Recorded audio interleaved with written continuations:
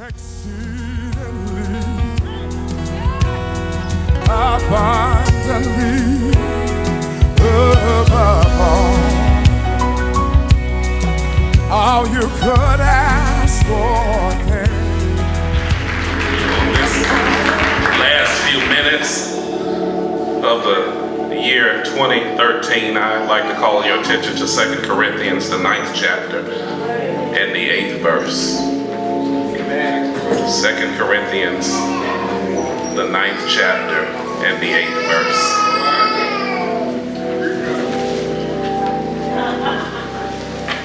When you have it, say, I got it.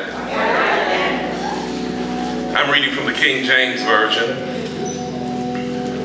And I'm going to ask for the sake of the sermon that you all would read with me. 2 Corinthians 9 and 8. Ready? Read. God is a, that's enough. You may be seated.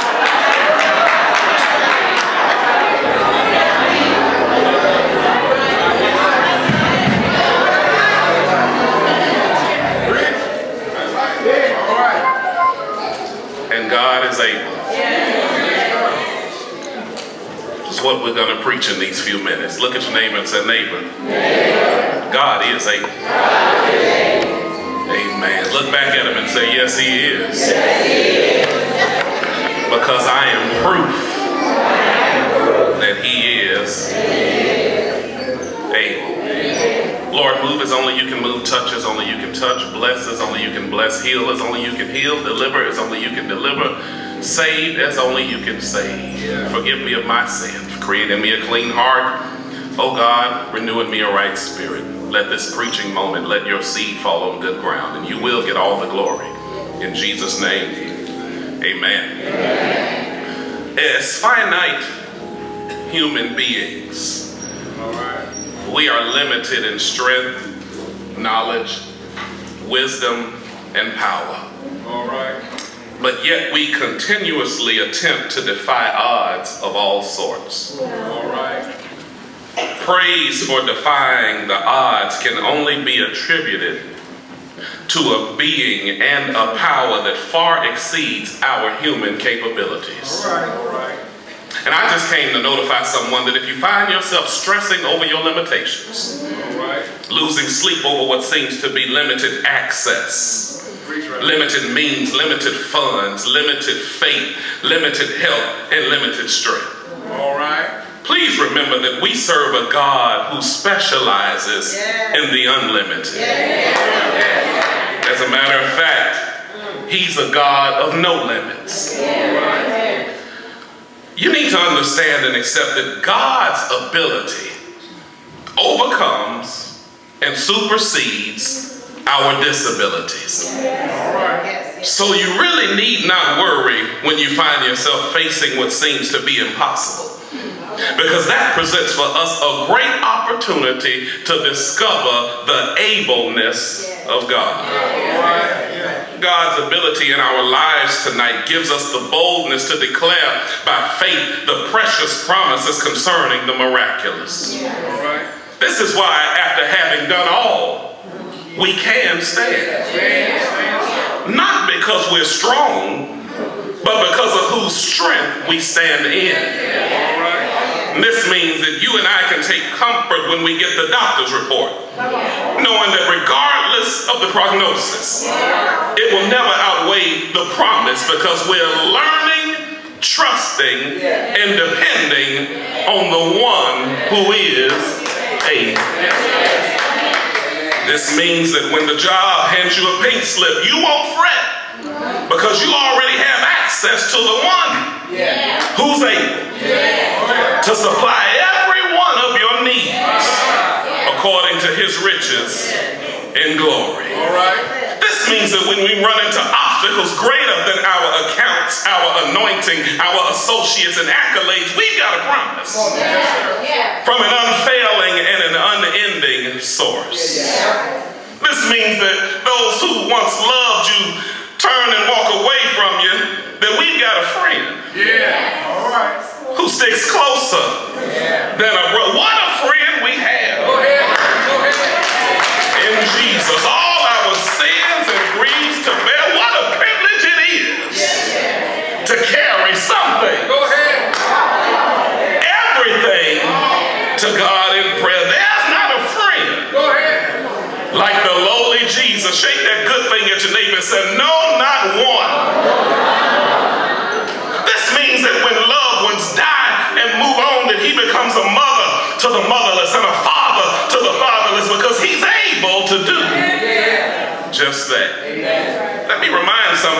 first time that God has already done what you can't do. And the reason he has it set up like that is that so that no one else will be qualified to get the glory once you've had an encounter with the able one. Somebody in the room tonight, I need to tell you that God is able to heal your body. He, for somebody else, he's able to deliver you.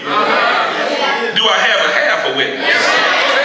For someone else, he's able to set you free. For someone else, he's able to move in the miraculous, bless your life, restore your joy, reduce your problems, revive your soul, redeem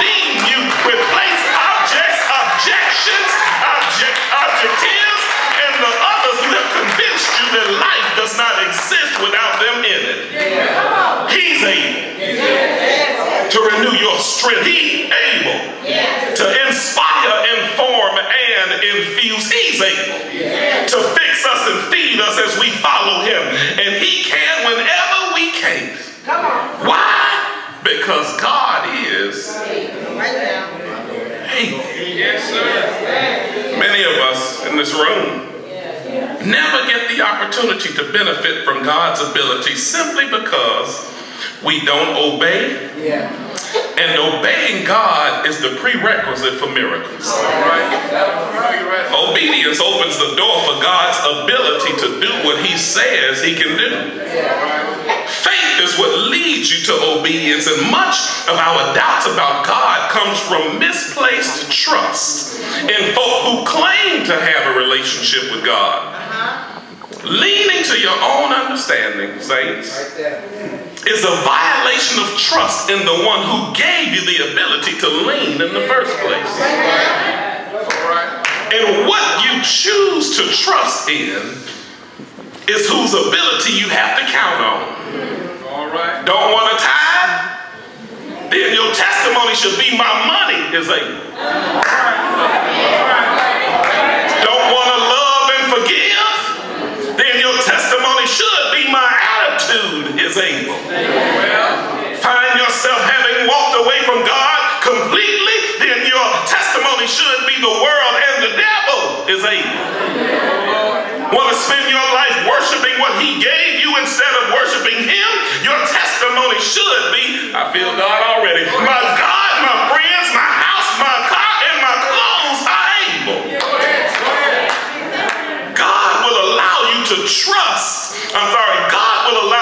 what you trust to take care of you. And when troubled times come upon you, He'll show you that what you counted on when you stopped counting on Him just wasn't able to help you as much as He could.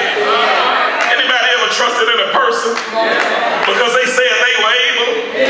Baby, marry me, I'll be able to give you a good home, take care of the kids. Well, But after you did it, you found out he wasn't able. She said, if you marry me, buy me this four quarter carat or four carat diamond ring, I'll be able to supply all your needs at night.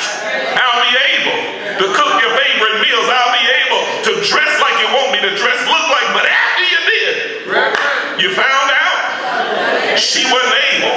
The job said if you stay here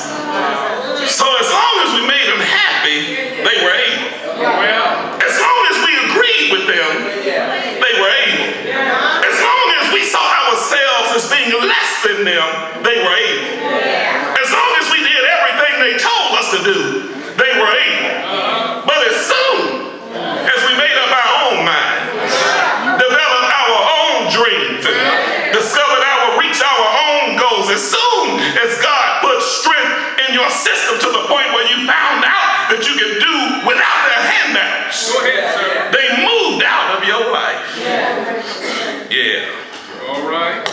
God is able. Yes, Do I have a witness? Too often we find out who and what's not able after having invested so much time, talent, and trust All right. into something that netted no return. My Lord. Yeah.